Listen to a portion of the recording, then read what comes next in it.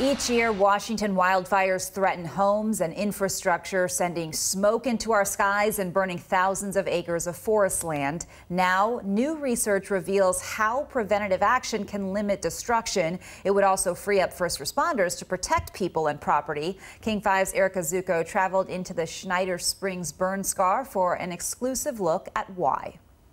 We traveled to the area with forest managers to see the difference up close between those areas that had been treated with thinning and prescribed burning and areas that had either just been thinned or not treated at all. In a healthy forest, fire can be as natural as the water trees need to grow. But when winds fuel fires like they did here last year, high fuel areas are at high risk. The Schneider Springs megafire burned more than 100,000 acres in 2021. It not only impacted Forest Service land, but DNR and private property very quickly.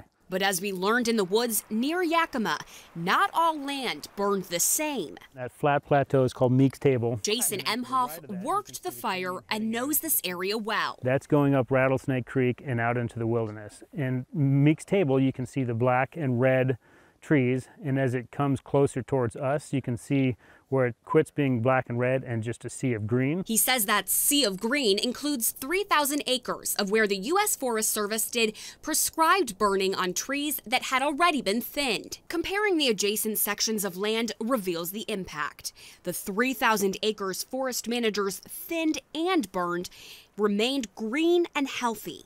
The untreated forest, some thinned, some untouched, came out scorched. We came in and harvested trees. It reduces fire danger. It also will help the remaining trees grow. DNR says some of its land that had been thinned but not pre-burned fared a little better but not much. When we can do the thinning, which reduces the number of trees, which makes the forest more resistant to drought and, and better adapted to, to the hotter and drier summers we're seeing with climate change, it's really important. And then if we can do the prescribed fire and treat those fuels, that's the best case scenario. Evidence that certain kinds of prevention can save forests and protect resources.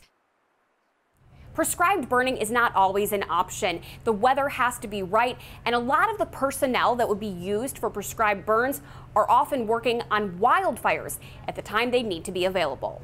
Reporting in the newsroom, Erica Zucco, King 5 News.